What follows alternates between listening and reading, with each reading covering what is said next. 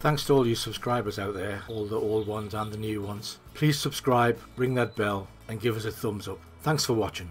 See you later, guys.